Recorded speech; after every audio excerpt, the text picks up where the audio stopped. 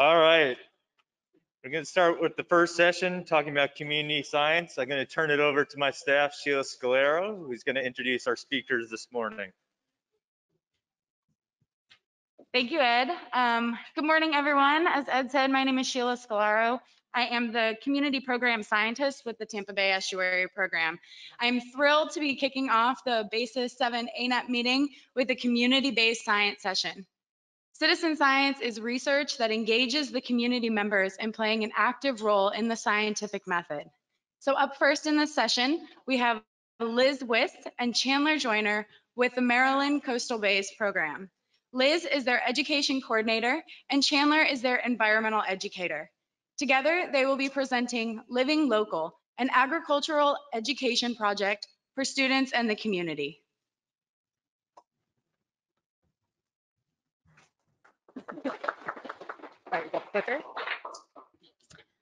Good morning, everyone. I'm Liz, and this is my coworker Chandler, and we're here to present on Living Local, an agricultural education project from the Maryland Coastal Bays program. As we're the opening presentation for the conference, we wanted to keep everybody on their toes and start off with a little vegetable joke. So a hint's going to be provided at the end of the presentation. And for the first person that might know the answer at the end, just come up to one of us and we have a farmer's market bag and a nature journal for you. So the joke is what is small, red, and whispers. And this is a play on words too for the vegetable joke. So don't look it up. All right, so now that we're all very invested, we wanted to start off this presentation with a useful visual to get everybody oriented to the location of our project. On the screen now is the NEP map that we know well, and that orange circle, I know it's a little bit harder to see, that's where the Maryland Coastal Bays program is located. Here's a closer look, and we're right there at that number 12, very tiny. Coastal Bays is an 175 square mile watershed located in the only seaside county in Maryland, Worcester County, with shared bays to our north and south with Delaware and Virginia. 71% of the land in our county is agricultural land, managed either as a private farm or working forest. I'm pointing this out now because it's an extremely essential element of our project. So Living Local began in 2020 as a small program to educate watershed residents on the positive practices farmers were utilizing.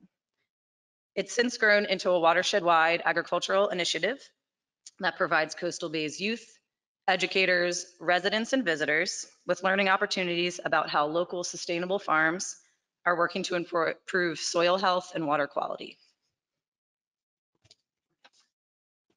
All right, so let's backtrack for a minute and look at the initial need of our project. Living local stemmed from multiple factors. We first considered the needs within our CCMP and looked at the items that were being identified as a priority action for 2020. One was that Coastal Bays would work with um, our partners to foster a greater appreciation of farming by informing the public of the positive changes that farmers were implementing to protect natural resources. Our second need came from the fact that the majority of people who grow up in our county grow old there, meaning that those that go through our local school system end up becoming our future decision makers. So there's a very important need for our community to understand sustainable regional farming practices. This leads us to our third need, and that is that there's no agricultural education curriculum currently integrated in our public school system, and no public place-based agricultural education our, for our community members. Additionally, with agriculture being the second largest industry in our county, many residents also end up being employed in the field. So to sum it up, there's a disconnect between our farms and those working the farms and the rest of our community and our school system. So after considering our needs, we then brainstormed what our broad project goal needed to be in order to address those items.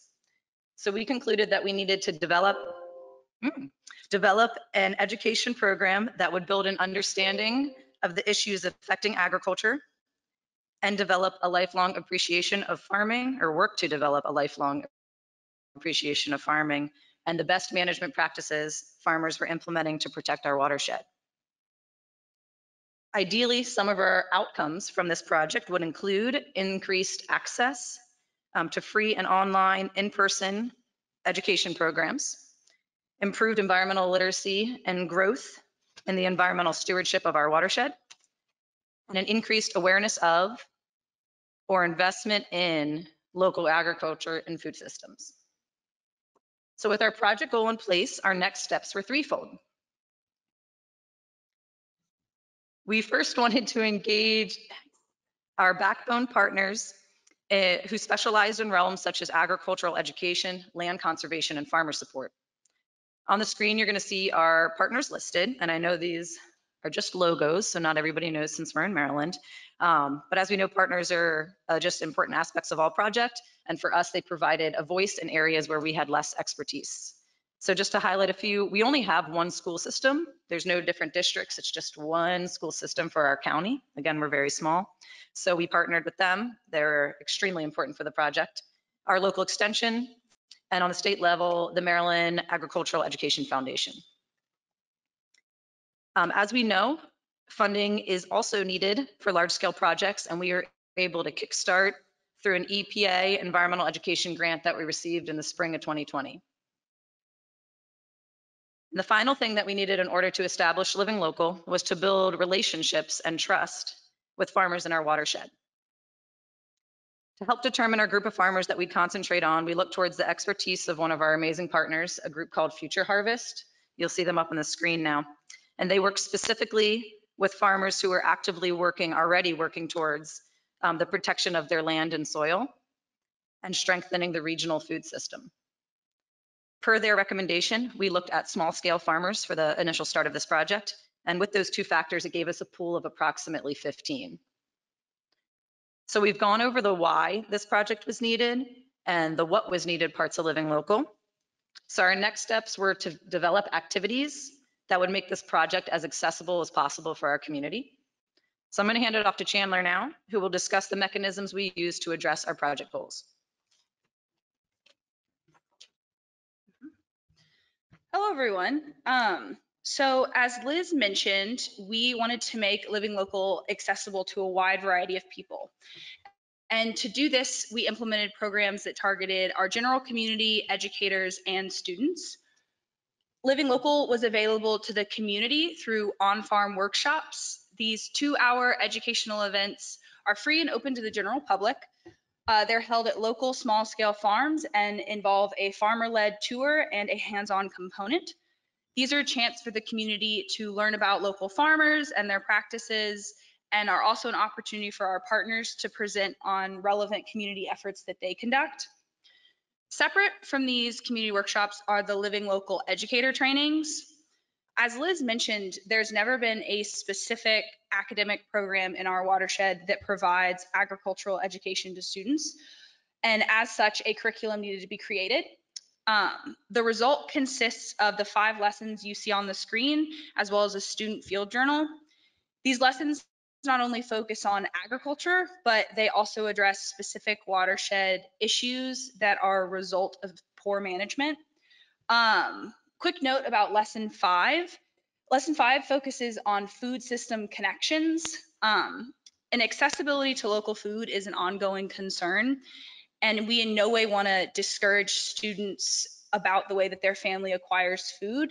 And this is the note I want to make is that this um, is fully addressed in the educator training, which brings me to that we created an online learning module to teach the educators the curriculum.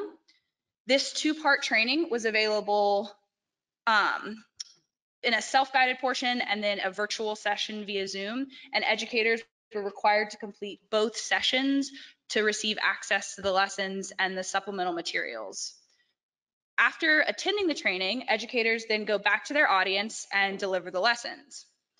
Any educator anywhere is welcome to complete the training and receive the curriculum. But this next portion is only applicable to educators in our watershed per the grant agreement. So upon giving the lesson, educators, whether formal or non-formal, are qualified to bring their groups out for a farm field trip to a partnering small scale farm in our county. On the day of the field trip, students are led through a farm tour and then rotate through three hands-on learning stations, one of which is led by the farmer. And then the next step after these field trips, oh, and I do think we're having some issues with the clicker, but there are photos, cute photos of students on field trips. Um, and then the next step after these field trips is for, oh, perfect. So cute students on field trips. And then I think we have an- another one, hands-on, oh, learning stations. There we go. Perfect. And so then the next screen, the next thing you'll see on the screen are a list of action project ideas and inspirations. Um, some of you may know that action project completion is a vital aspect of the environmental education continuum. And so these projects help students implement problem solving skills that they gain during the lessons and on the field trip. And action projects also help grow critical thinking skills. And so this is a list of some of the ideas sent around to educators, and it also includes uh, the bolded option on top, raised garden beds, is funded by the EPA grant. So that's something we can provide to students. Um, I want to take a moment here to make a quick note about our timeline. We applied for the EPA Environmental Education Grant in January 2020, and then we received funding in May with a project start date of October. Um, I don't know if you all recall what happened in March 2020, but we sat there with all of these plans to bring students out to farms and have in-person educator trainings and community workshops. So with the new world of virtual learning, we adapted the educator training to be completely virtual and delayed our timeline for field trips and community workshops. Um, so while we technically had a start date of October 2020, we couldn't technically even begin to think about bringing students out until a year later. Um, as of today, through our partnership with six local farms, we have completed three community workshops and one on-farm field trip. We have seven field trips planned for April and May, and our final community workshop will be held in the fall. I'm happy to report we've reached our targeted number of educators, and as our in-person possibilities have increased, we're excited to continue evaluating the success and impact of the project. Uh, project success is being measured primarily through formative surveys. Students complete pre and post field trip surveys, community members complete surveys following the workshops, and um, all farmers receive firm surveys following all programs. And on the screen are some examples of survey questions asked. We will be integrating a summative survey process for our educators who have been involved in multiple steps of the project from curriculum development to action project completion. And we are also constantly reevaluating our next steps based off partner input. Um, from the amazing partners Liz mentioned earlier, we have monthly partner meetings. So our EPA grant funding comes to a close this October. And with that, we will be turning our attention to our long-term sustainability plan. So some components will continue to occur annually, such as the educator trainings as it's been completely created and the community workshops. And those future participants will continue to be surveyed. Other components will be absorbed by our partners. So our county public school system uh, has begun the process of integrating the created curriculum into a systemic, meaningful watershed educational experience, or a MWEE, if anyone is familiar. We are looking forward to a spring full of farm field trips and continued project development. Um, any any educators or outreach specialists out there who are interested in the curriculum or the online learning module, uh, we can absolutely give you access to all of that if you just contact us, reach out to us, or anybody seeking more details, please, please feel free to contact us. Um, I know you were all absolutely on the edge of your seat with our riveting joke, but um, do you want to have somebody guess now or do you want to say it again? Sure. Um, the joke was what is small, red, and whispers? Does any, we'll just take it out. Does anybody think they have it? And raise your hand and feel bold. Yes, a, a little, close, super close. I'm gonna give it to you. Anyway, does anybody want to help them out potentially? Oh. Yes, a horseradish. Yes. Oh, play on words. Yeah. So we have a prize for both of you. So that'll be perfect. Um, but thank you guys so much for your time and attention. We're gonna wrap it up for questions now. If anybody has any questions.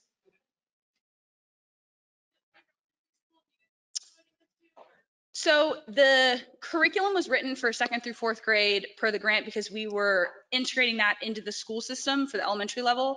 But any non-formal educator, all the lessons can be adapted to students older or younger. So for formal educators, second through fourth are the ones that can come out on field trips. But for non-formal educators, any age can participate. Um, yes, well, I actually just worked with the curriculum with a Girl Scout troop leader and adapted many of the lessons to apply to her high school troops.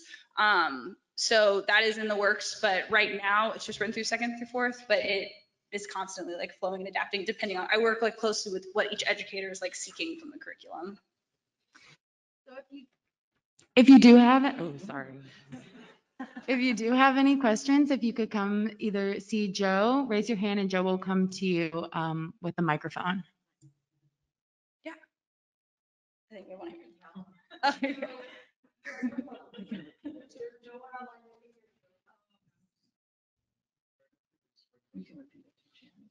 Okay.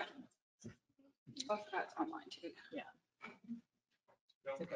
Just repeat what you So I'm just curious, because one of the big things that I feel is kind of contentious between EPA and USDA is that EPA really doesn't have much jurisdiction on impacting USDA as far as like watershed protection, and there's a lot of voluntary programs that USDA does. Are you seeing, um, in such young children, are you, are you getting feedback where they're asking, well, why, why did they do this? Or why do we fertilize? Or, or does it not really get into that as much on, like, this is where your food? We definitely get into practices that farmers implement. So each farm was selected based off of the sustainability practices that they use. Um, and so that is touched on primarily in like the learning stations at the field trips, and each lesson does have a component of that.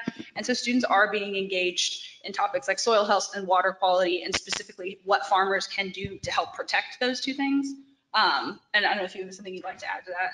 Yeah, that's a really good question. We have, um, teachers actually gave us feedback because I think we even put more into the curriculum, maybe vocab wise and concept wise, being a little bit ambitious and we got feedback. So we actually pulled back from a little bit of those concepts. But we are seeing from the one class that we brought out now that they've gone through multiple steps, not yet the action project is, um, that they have students continuously asking questions back in the classroom and wanting to do more like on their school grounds and things like that. Thank you. Thank you.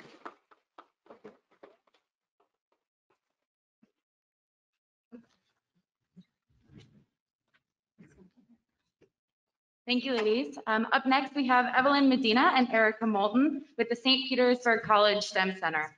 Evelyn is obtaining an environmental science degree and was an intern at SPC. Erica is the STEM director at the STEM Center at Bay Pines. And together they will be presenting Waif Gopher Tortoise in Habitat Restoration.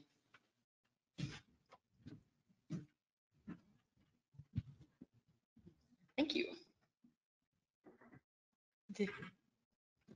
Okay, so uh, I wanted to start out with a quick map of where our project area is. So if you're from the area, uh, we are really close to Madeira Beach, uh, just across the causeway there, the bridge uh, down here.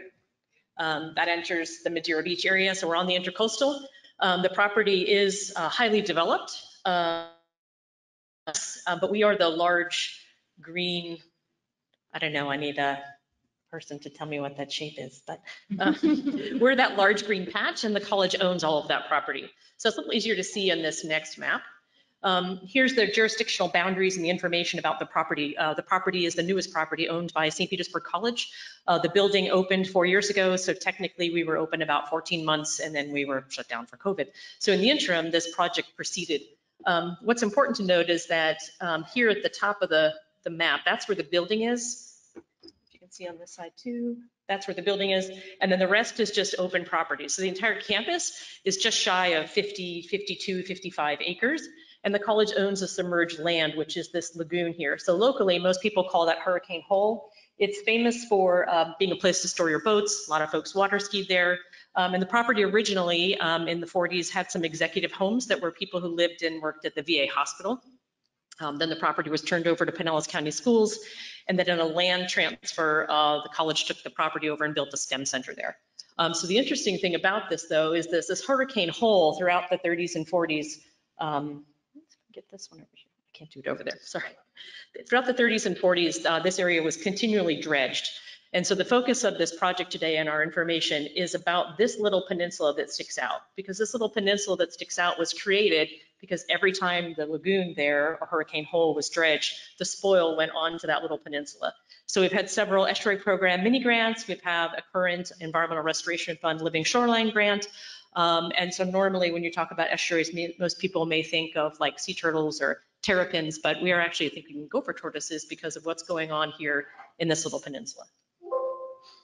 Uh-oh.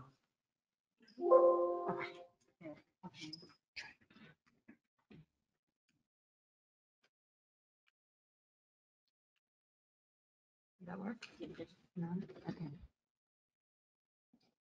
Technical difficulties. Okay, so here's a close-up of that landmass. It's uh, different in habitat than the rest of the property. Uh, It doesn't have mangroves except on the inside. Um, And it does have a lot of uh, salt barren, saltern, um, open pine, flatwood. We've also got a lot of cactus growing in there. Again, because it is the spoil, so it's really high in elevation compared to the rest of the property. Um, So we walked out there onto the property and noticed that at some point there had been gopher tortoise burrows. We contacted FWC, had them come out and scope at least two of the burrows, indicated that there probably had been gopher tortoises in this property at some time, but they were gone.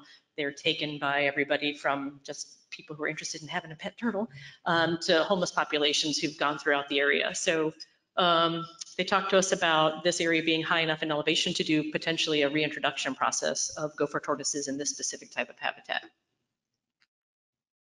Okay, so we started in, oh, I can see. We started in August uh, with that permit. Um, Instantly after the biologist came out, they issued the permit. Um, And then we were advised to go ahead and install that silt fence based on our mapping information that we presented to them, the soil surveys we presented. Turns out it was going to be perfect habitat for reintroduction of waif gopher tortoises. And as all of us who know, uh, currently in Florida, we're running out of habitat to release uh, injured gopher tortoises or those that need to be relocated because of construction. Um, So right away, we worked on getting a silt fence installed. So the interesting thing was it took a little bit, back one, it took a little bit of time because of the fact that that silt fence had to be at the uh, top part of the property uh, where we still are a salt barren or saltern and runs through an area where the mangroves. So it took a little bit of work uh, to get one installed, um, but we did. We had to have one installed before the first tortoise released. And so we did start to release tortoises uh, January of 2020. And then this became a, a student project or a citizen science project because of the fact that every place else that could take tortoises was closed, but we stayed open. So let me introduce you to Evan. Hello, my name is Evelyn. Um, so in January 2020, we did have the release of our first gopher tortoise. He was rightfully named Titan, which is the SPC mascot. Um, shortly after that, in March 2020, we had a release of four other tortoises, Spartacus, Shelly, Lucy, and Calamity Jane. Um, obviously, having the release of all five of those tortoises, it kind of just led into, we needed some sort of personnel to kind of keep track of their activities and what they were doing on this little peninsula. So we had our first intern in May 2020 named Leonard Sala. During his internship, he did experience the release of two tortoises, one named Oceanus in June 2020 and the second in July 2020. After his internship ended in July, we followed with August 2020 with Alexandra Jacobson. During her internship, she was there for the release of Stanley in October 2020 and ended her internship shortly after that in December of 2020. We did have a little bit of a lull. I came next in May of 2021. I started the camera trapping. I was mainly just focusing on who was still present in the area after we had numerous hurricanes, along with what type of burrow associates we were looking at that were inhabiting their burrows. Um, I technically ended my internship in July of 2021, but I did continue to stay there. This is just a short clip of different burrow associates that we saw during my time.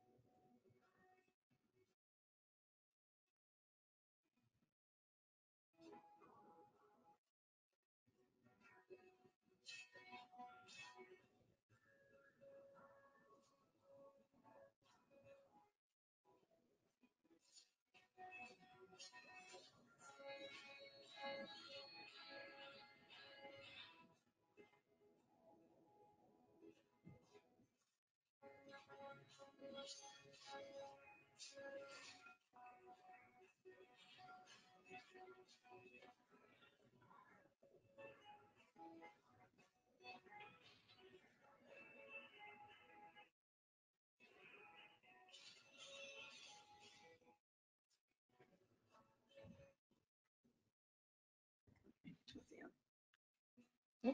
I- And then in August of 2021, Dylan Fay came and started his internship there. I was still with the STEM Center and he kind of just took my footage, condensed it and organized it into different groups. Um, While he was there, we did have two more tortoises released in August of 2021, Elsa and Boris. He technically ended his internship in November of 2021 and shortly thereafter moved on to the University of Florida. And then after he left, just before we came here, we had our release of our final tortoise number 11. He does not have a name, and he was released in January of 2022.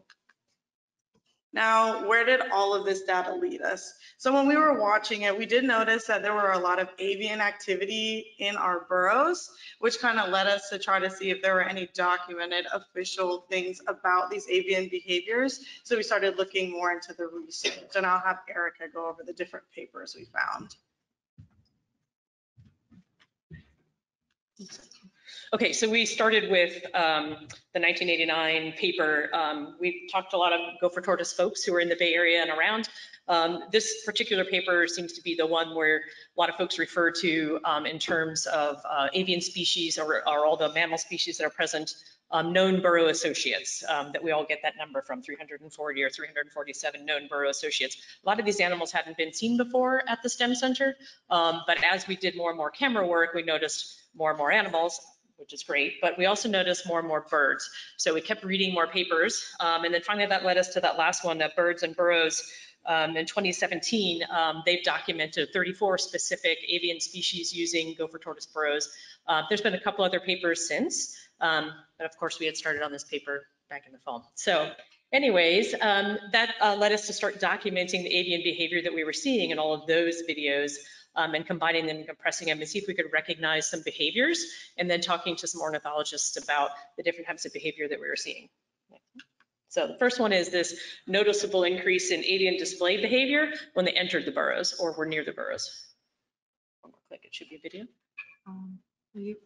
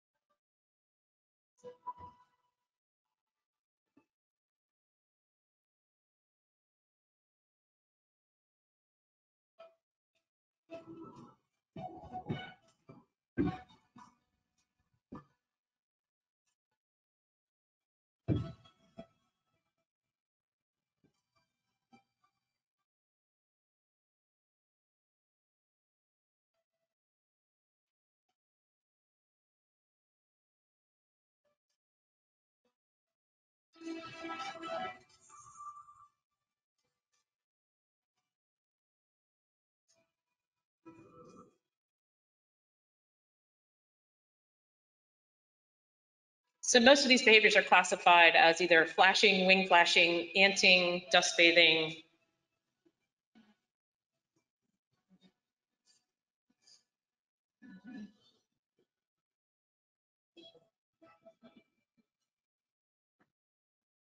a mockingbird at the end. Okay, and then the next category uh, was a lot of foraging.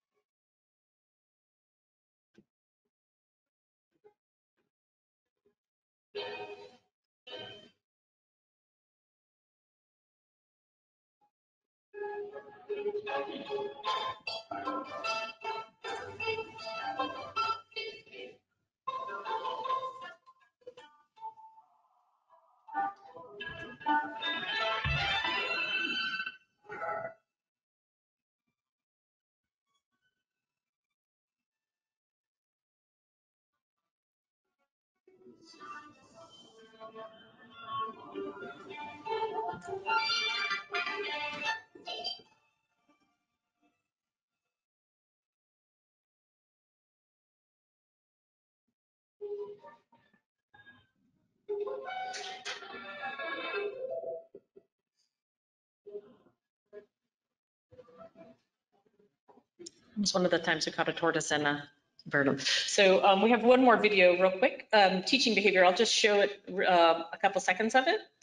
Um, oh, Oh, gee. Because we're in the two minute mark. Oh.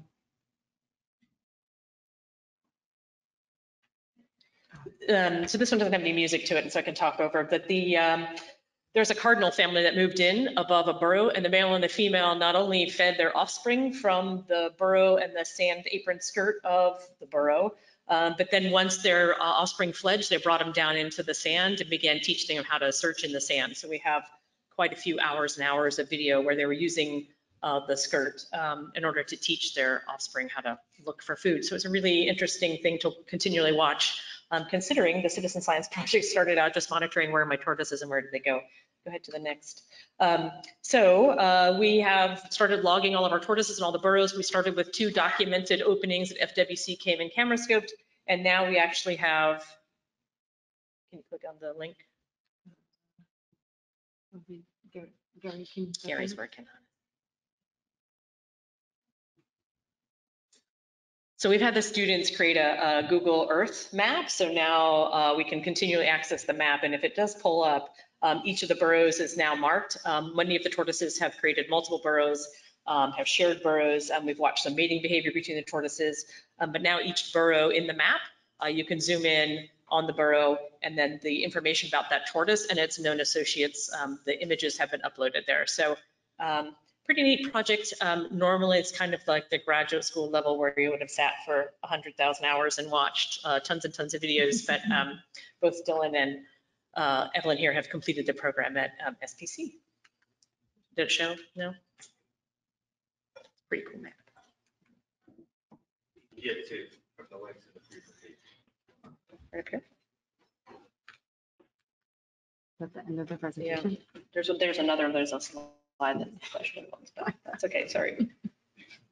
Trust me, it's a cool Google map. but If you can get to the next slide, that's. I- Um, so we just owe a special thank you to a lot of folks who know George Heinrich, uh, Jim McGinnity, um, and then all the folks at FWC who helped us um, with this project. Um, so we officially do have uh, the last bird that we saw was we've uh, had burrowing owls move into the property, which is what you want to happen when you have gopher tortoise burrows. So, um, so do you have any questions?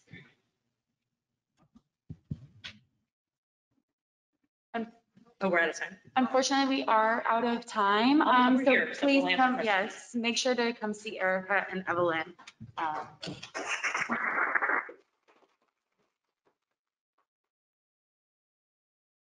So our first virtual presentation will be from Andrey Skripnikov. Andrey is an assistant professor of statistics at New College of Florida. He will be providing a presentation on using, using localized Twitter activity for red tide impact assessment.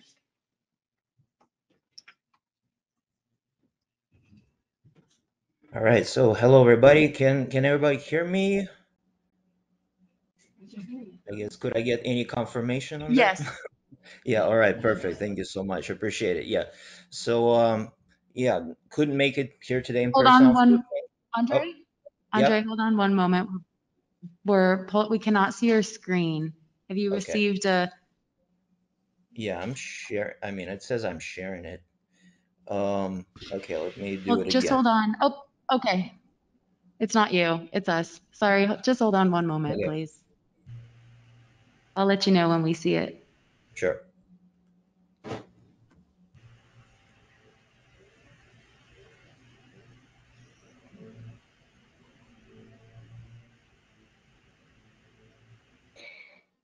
Those of us who are here virtually can see the screen just fine, just to let you know, Andrey.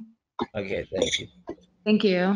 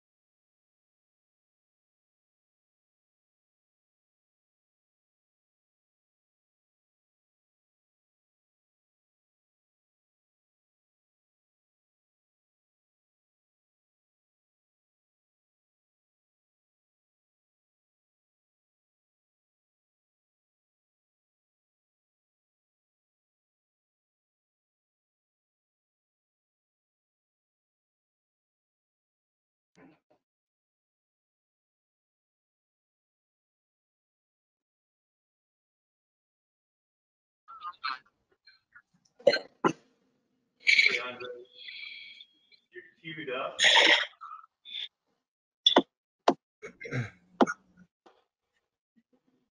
Hi, Andrey, you're queued up. You're just gonna have to tell us when to advance the slide, okay? Um, okay, so, okay.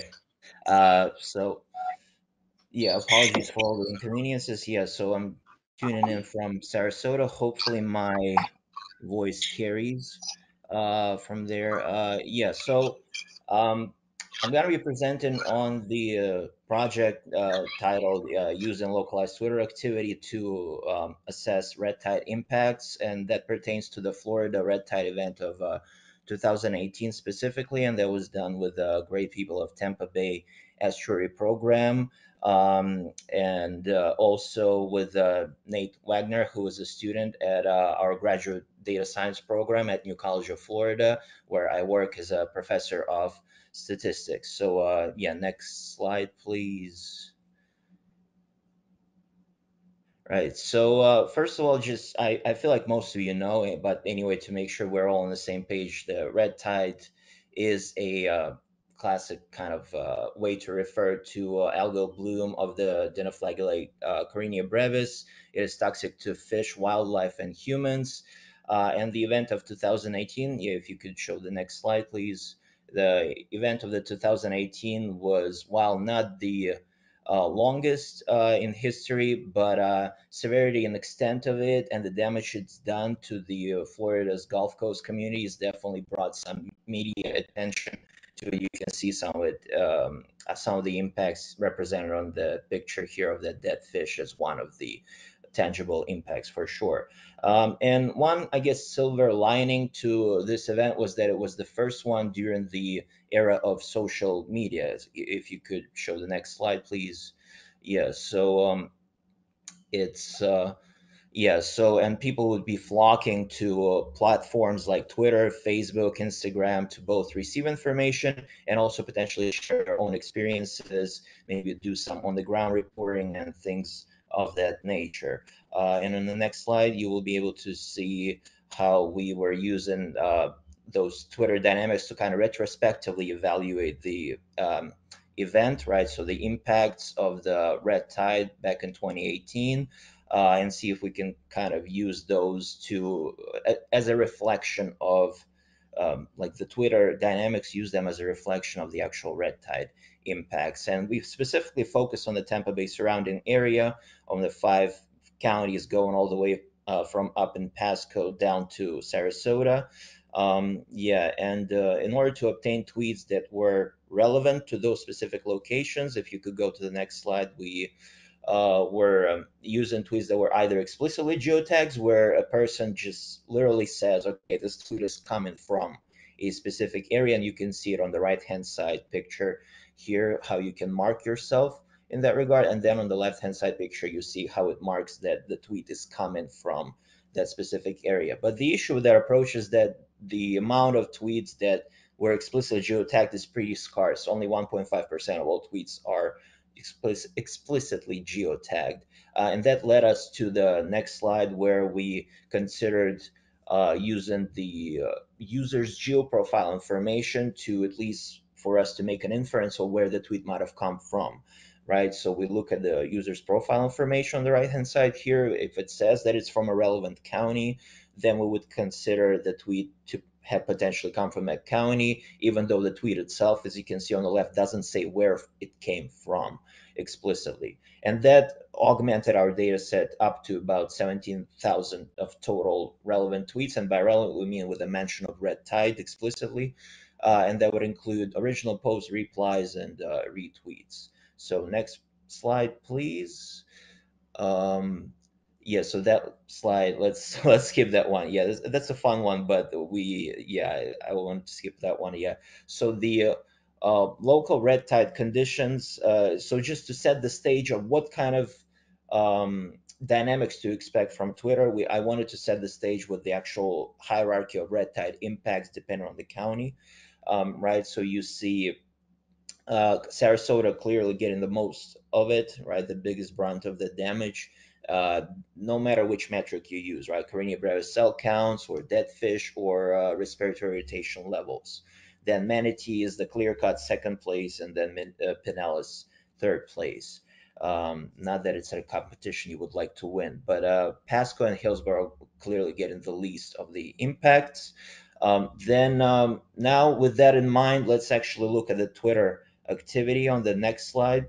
Um, and please focus on the right hand side picture, uh, which is per capita, uh, because on the left hand side where it's totals, uh, it would get overwhelmed with counties that had more population, more Twitter users. Hence, you would see like Hillsborough and Pinellas uh, getting higher representation, even though they didn't get as much of an impact compared to other counties. On the right-hand side, the per capita adjustment gives you much more representative uh, hierarchy uh, in terms of Twitter activity. And you have two types of Twitter activity. As we mentioned, one is just explicitly geotagged tweets to come from the area. And all geomatches means including also those who were just matched to the area by their profile information.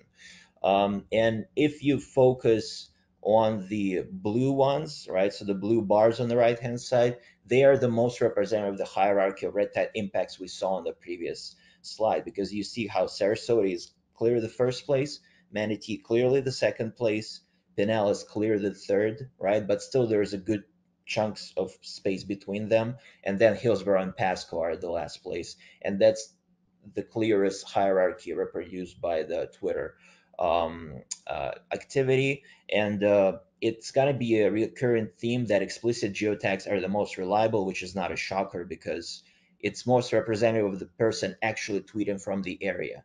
Um, yeah, so, all right, so on the next slide, you will uh, be able to see the temporal dynamics of the red tide. Um, so yeah, at the top, you pretty much see how you have those clear cut five waves um, of the red tide. Uh, and uh, at the bottom, you see how the Twitter activity was correspond corresponding to it, right? So that is cumulative across the entire Tampa Bay region. So over here, I haven't broken up, uh, haven't broken it up by counties just yet. Uh, but you kind of see a pretty solid correspondence, right? So like the first wave was a quiet, relatively quiet one in June, but then in that late July, early August, when it's got the most traction, when the most impact was seen, and that's where the most Twitter activity happened. Then the third wave was also considerable, was matched by a solid activity. Fourth wave, not as big, but you see a peak of explicit geotags, which are in blue once again definitely mm, uh, matching it. And the fifth one was a quieter one towards the end and also had a bit of a peak there. Now let's break it up by counties. That's on the next slide, um, which is a bit more int of interest, right? So where we actually see uh, more localized impacts and how more localized Twitter activity corresponds to them. And you see uh, Sarasota, Manatee, Pinellas, like some of the most affected counties, good correspondence Sure, the correlation is not as strong potentially as the for the overall uh, Tampa Bay surrounding area, but still keeps up at a solid like 0.79, 0.8 correlation. Uh, and for explicit geotags, correlation is much better, and you can start seeing uh, clearer in the Hillsborough case scenario, where um, the uh, explicit geotags don't overreact to uh, things that might be happening in the neighboring counties because all geo matches. They include people who simply have their geoprofile information pointing to like Tampa, for example, who still tweet about red tide, even though Tampa hasn't been hit by red tide as much as those uh, more southern areas. And explicit geotags reflect that because people do, didn't tweet and explicitly geotag themselves in Tampa, right? Uh, and uh, that's why you don't see that overreaction in geotag um, uh, metric. Uh, so it's again recurrent theme in that regard. And so if you see on the next slide, we made a further strides and kind of looking at more hyper localized area uh, breakdowns besides just county level. We'll also look at city level, zip code level. Uh, and then we also looked at more fine grained temporal frequency scales. So because before that, I showed you pictures that were on a weekly uh, scale where I took total uh, red tide impacts on a weekly scale, total Twitter activity by week. Um, and then down here, you also see breakdown three days at a time or also on daily basis. and the correlations between Twitter activity and the red tide impacts definitely gets weaker, which is kind of expected, uh, but uh, still manageable, right? So like still manageable, especially for a total and county level. Uh, for day, even for daily, keeps relatively strong correlations, and then for the weekly, uh, it if you go down to city level, it's still somewhat respectable of, about 0.50 uh, correlations. So uh, yeah, let me move on to the next slide here. Uh, yeah, we've tried a bunch of other things. I feel like we're definitely getting short on time here, so I don't want to list all of that. But if any of your interest, can definitely contact me on those. Um, and the thing is, none of those beat the very basic approach of looking at explicitly geotag tweets about red tide as an indicator of red tide impacts. It's still correlated the strongest out of everything else we've tried as far as Twitter metrics. Uh, and on the um, next slide, um, so another thing that we did is analyze kind of the topics that were being discussed around red tide um, on Twitter and um, match them up with research previously done uh, on uh, how it was covered in the media back in the day. So it was clear that environmental issues were brought up the, were brought up the most. Then health concerns were clear cut second, and economy issues due to businesses closing down and things of that nature that was brought up third uh, among people, and that matches up with that research done uh, due, uh, according to the red tide event back in 2005 and 6, where the hierarchy of concerns mentioned was the same. All right, so on the on the next slide, uh, it's just a wrap up. Yeah, so it's everything that we already discussed. Um, really, that explicitly geotag tweets were the way to go in terms of matching with the actual red tide impacts. And uh, as far as the actual concerns being uh, actively discussed by people, uh, environmental issues were the most discussed, and then economy and health were second and third. Okay, so and lastly, as a future work, okay, it's the next slide. Yeah, so for the future work, we are right now thinking on the next slide, please. Yeah, so we're thinking about a new college in collaboration with Tampa Bay Estuary Program is thinking of designing a public-facing Twitter uh, web dashboard uh, that, among other features, would track recent Twitter activity on the topic of red tide, get a pulse of public's experiences, requests, questions, concerns, right? Kind of like this very last thing that I was talking about, whether it's environmental, health concerns, and so on and so forth, right? Focus a bit more on that side rather than pure correlation.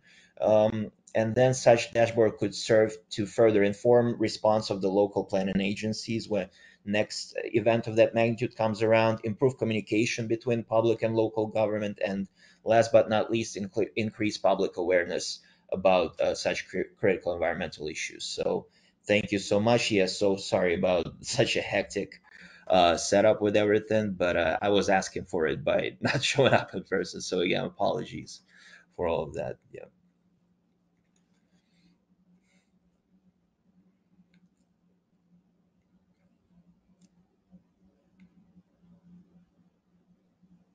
Right? Are we are we good? Yeah, because I cannot hear anything. So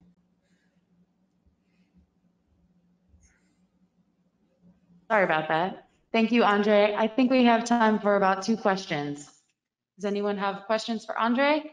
If so, I'm just just a reminder, please raise your hand and Joe will bring you a microphone.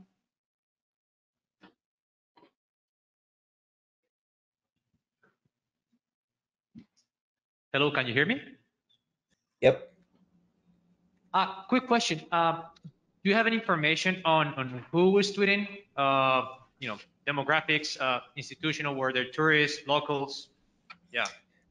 Correct. Uh, well, yeah. So as far as like tourist locals, I feel like it's a bit tough to infer in many cases. Besides using the pro again that profile information or where they come from, right? So because that's what kind of shows where they're technically originally from. Of course, if we were to trust that information that they post in their user profiles. So that's definitely a possibility to look into that. Uh, and that's one other thing that we are considering. It was that slide that I quickly skimmed over, but uh, it was saying we were trying to break down accounts by like type of an account, whether it was like a citizen or a media government account. And that could also be done, as you say, potentially whether it was a tourist or a local resident. Uh, yeah, and uh, but the thing is, yeah, it didn't kind of lead us to any improvements as far as correlations are concerned. But again, it's something that can definitely be focused on as the actual kind of like study and the uh, overall discussion around red tide and who is talking about what specifically. So, um, yeah. Alrighty, well, thank you so much, Thank you. Andrey. And last but, and last but not least, our final presentation will be from Jill Carr. Jill is the coastal data scientist with the Mass Bays National Estuary Partnership and will be presenting It Can Be Done, Increasing the Quality, Usability, and Distribution of Community Science Data. Take it away, Jill. Great, thank you. Um, I'm looking at the uh, presenter view. Is that what everyone else is seeing? There we go.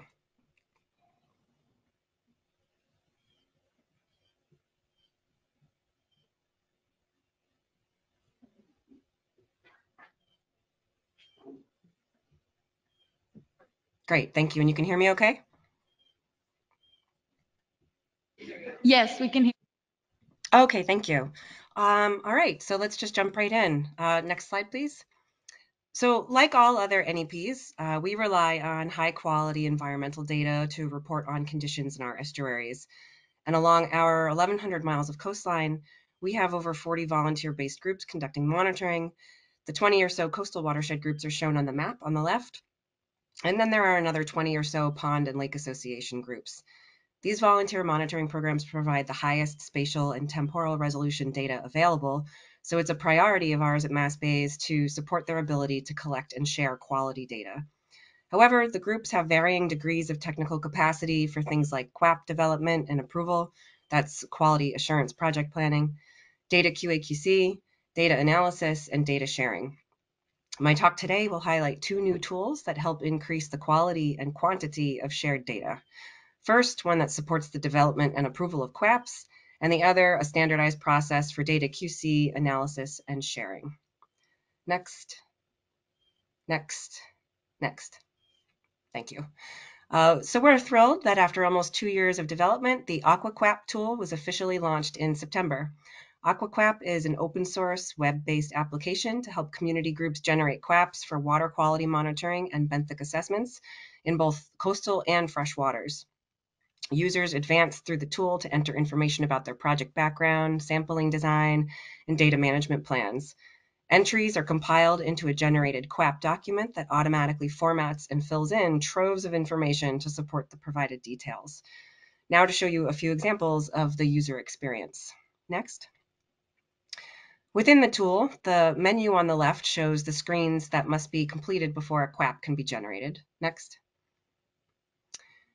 Uh, next. Users work through their screens and track their progress toward completion. One particular, particularly important screen is shown here. Uh, it's the water quality concerns screen. When a user selects their concern, be it nutrients, bacteria, benthic health, or a combination of these, the tool begins to do work in the background. The response on this screen will inform future screens with fields relevant to those concerns. For example, the appropriate parameters to measure eutrophication if that was the concern that was selected. In the final QAP, sections of narrative text and tables will be automatically populated with methods, data quality objectives, and details specific to those concerns and parameters chosen. I'll show some examples of that in a moment. Next. Next. But first, here is an example of a more narrative type screen, the record handling procedures screen.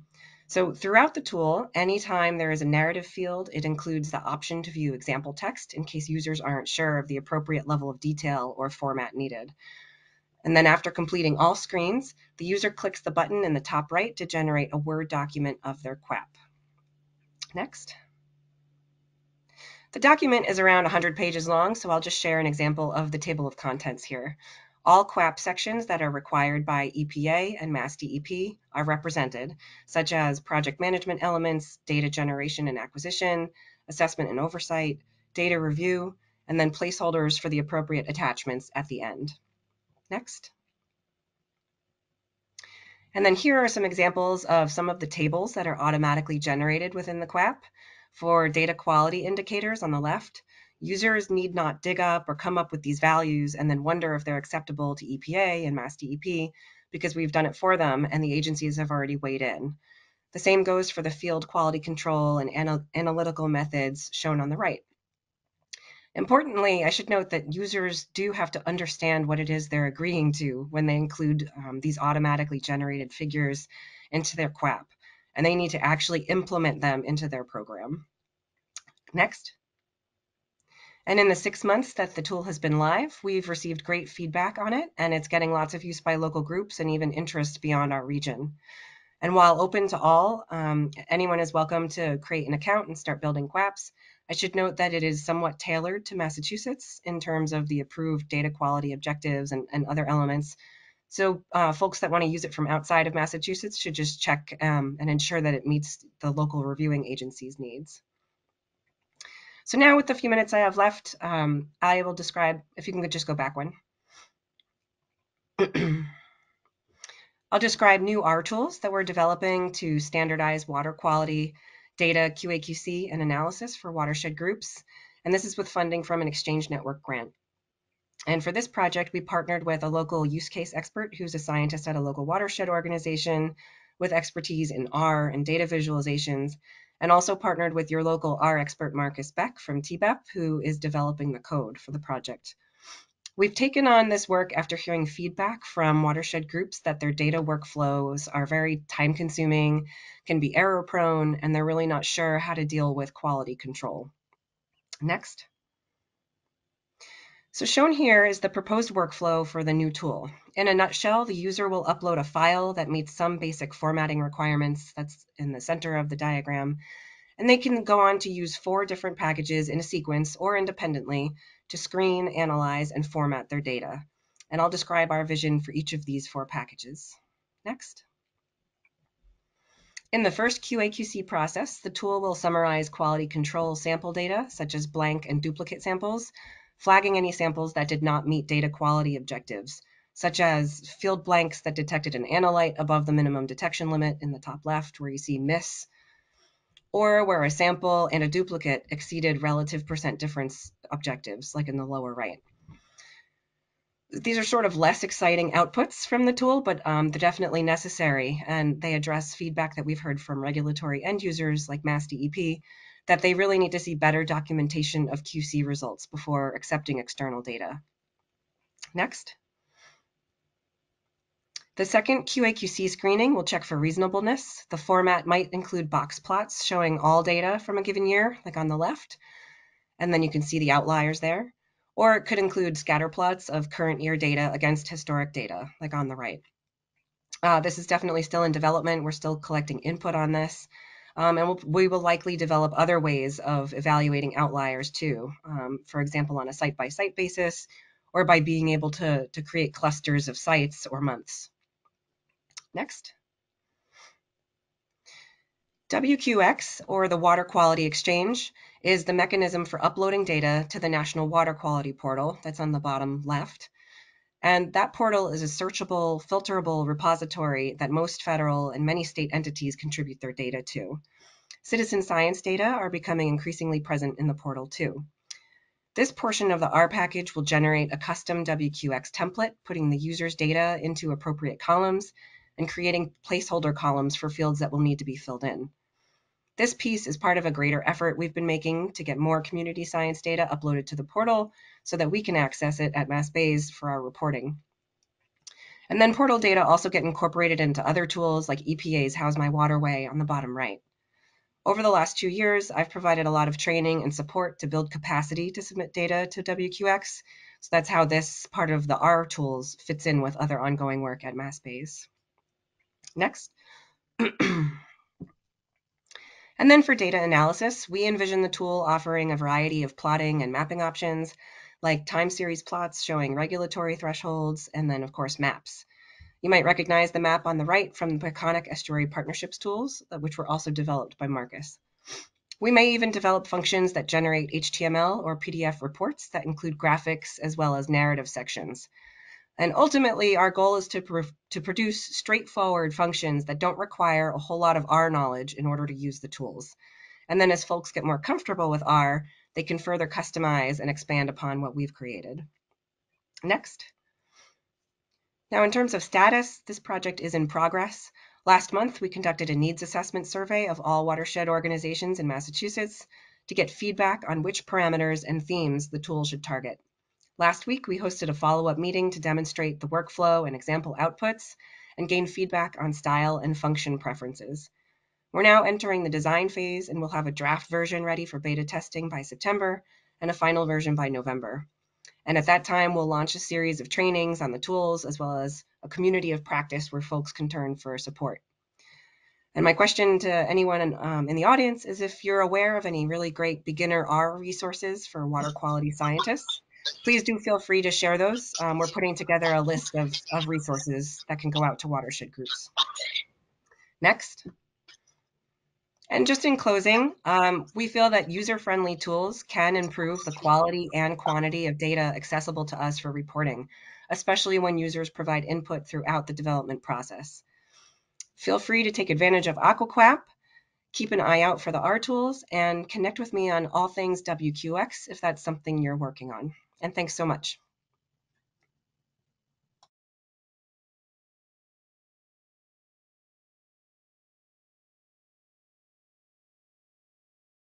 Thank you, Jill. We do have a few minutes for questions, so.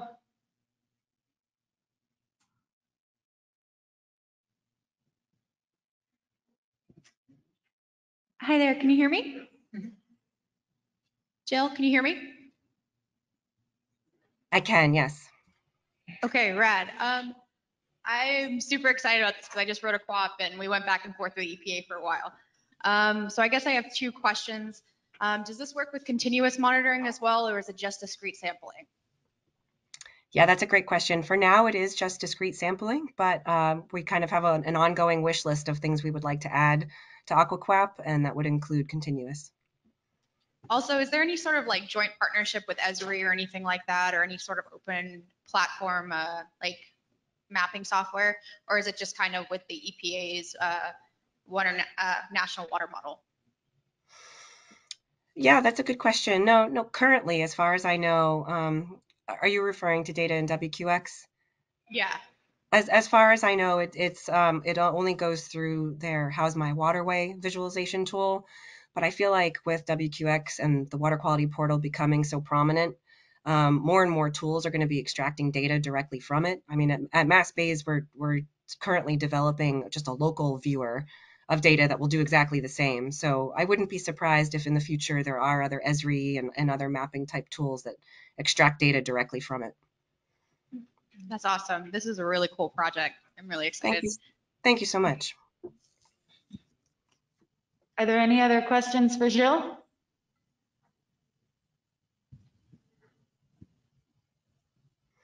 Thank you. That was a great presentation. Name is Maya Trotz at the University of South Florida. I just had a question in terms of scaling your AquaQAPP cap. Um, what are the plans? What is the financing needed to do something like that if it's sort of something that could be not just national but global? Mm, interesting. Um, there there would be some um, some challenges with, with creating something that could be used uh, on a global scale or even on a national scale, in the sense that not every um, QAPP uh, approval agency wants to see the same things in a QAPP or has the same requirements. Um, so ours ours is tailored to Massachusetts in that way, but there are lots of other tools out there and uh, documentation that could guide anyone in building a QAPP anywhere. Uh, but as far as an actual form-based tool, ours is the only one that I'm aware of. Uh, and I suppose it could, it could be scaled up. It would be rather expensive. Um, ours, just at the state scale, was um, around $200,000 to develop. Um, so, you know, it's sort of uh, the price could only go up from there if you were trying to expand the scope even more.